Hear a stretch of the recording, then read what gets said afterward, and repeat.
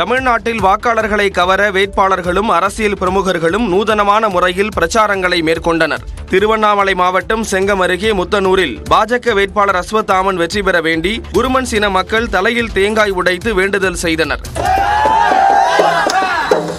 மயிலாடுதுறையில் பாஜக கூட்டணியில் போட்டியிடும் பாமக வேட்பாளர் மா ஸ்டாலினுக்கு பழ வியாபாரிகள் பட்டாசு வெடித்து உற்சாக வரவேற்பு அளித்தனர். அப்போது பழ வியாபாரம் செய்து பாமக வேட்பாளர் ஆதரவு திரட்டினார்.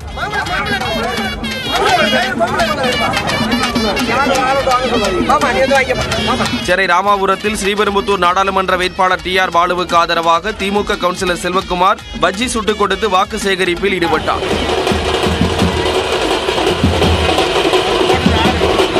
தருமபுரி மாவட்டம் தொப்பூரில் பரப்புரை மேற்கொண்ட தமிழ் மாநில காங்கிரஸ் தலைவர் ஜி கே வாசன் பாமக வேட்பாளர் சௌமியா அன்புமணியுடன் சாலையோர கடையில் அமர்ந்து தேநீர் அருந்தினார்.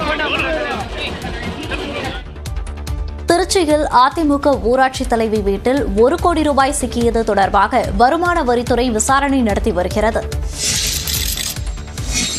திருச்சி அருகே அதிமுக பஞ்சாயத்து தலைவி வீட்டில் ஒரு கோடி ரூபாய் பணம் பறிமுதல் செய்யப்பட்ட நிலையில் அவரது கணவரிடம் தேர்தல் பறக்கும் படையினர் விசாரணை நடத்தி வருகின்றனர். திருச்சி ஸ்ரீரங்கம் அருகே உள்ள எட்டரை பகுதியில் அதிமுக பஞ்சாயத்து தலைவி திவ்யா அன்பரசன் என்பவர் வீட்டில் கட்டுக்கட்டாக பணம் பதுக்கி வைக்கப்பட்டிருப்பதாக தேர்தல் பறக்கும் படையினருக்கு ரகசிய தகவல் கிடைத்தது. அதன் அடிப்படையில் சோதனை மேற்கொண்ட தேர்தல் பறக்கும் படையினர் திவ்யா அன்பரசன் வீட்டிலிருந்து கணக்கில் வராத ஒரு கோடி ரூபாய் பணத்தை கைப்பற்றினர். இது தொடர்பாக வருமான வரித்துறையினர் விசாரணை நடத்திய போதே முசிறி அருகே அதிமுக பஞ்சாயத்து தலைவியின் கணவர் அன்பரசனின் வாகனத்தை போலீசார் தணிக்கைக்கு உட்படுத்தினர்.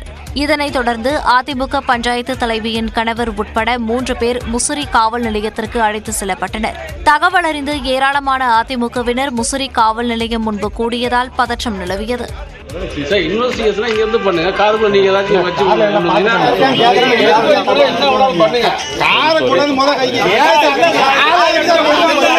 உங்க வண்டி எடுத்து போறேன் டிபார்ட்மெண்ட் எடுத்து போறேன்